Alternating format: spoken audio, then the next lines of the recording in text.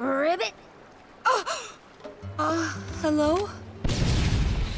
Hey, what do you think you're doing here? This is a no grown-up zone. Get lost. You're a kid? Well, duh.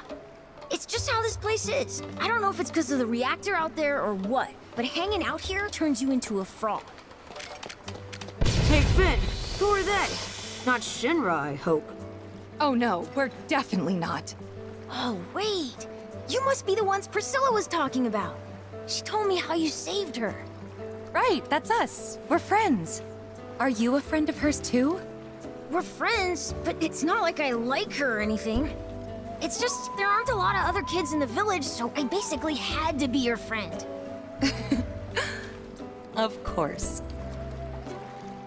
So what are you kids doing all the way down here?